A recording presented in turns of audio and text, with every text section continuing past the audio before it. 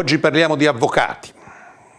Questo è il dubbio, il giornale degli avvocati. Ogni tanto parla di avvocati. C'è una notizia che può sembrare secondaria, ma che invece secondo me è molto importante. Per la prima volta nell'ambito del G7, sapete che si riunisce in Italia il G7, e per la prima volta in Italia accanto al G7 politico ci sarà un altro G7, il G7 delle avvocature, cioè le avvocature dei sette paesi eh, più importanti del mondo che partecipano al G7 si incontrano e discutono dei problemi della giustizia.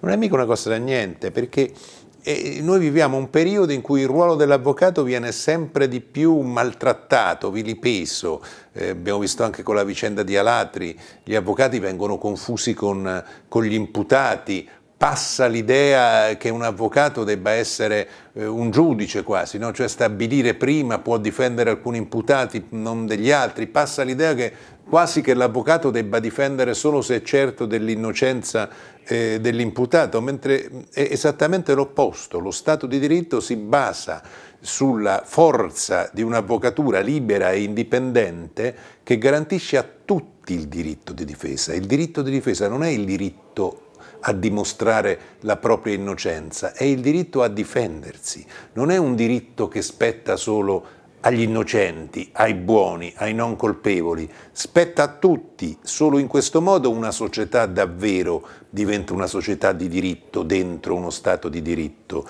Un altro tipo di società, la società che distingue già a prescindere fra colpevole e innocente e che pensa che l'esagerazione della pena sia la soluzione dei mali sociali e sia l'affermazione della giustizia, non è una società di diritto, è una società etica, è uno Stato etico. Noi abbiamo avuto delle brutte esperienze in Europa di stati etici, ne abbiamo avuto nel Novecento.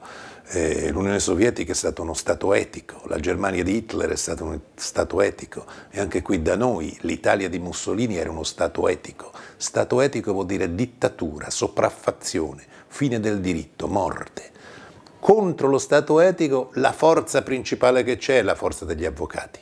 Sono eh, l'aggregato intellettuale e sociale e politico più forte che c'è ed è assolutamente necessario, soprattutto in questa fase storica nella quale le spinte populiste vanno esattamente in quella direzione, in quella dello Stato etico. Ma lo Stato etico è la rovina, è il disastro, è la negazione della modernità.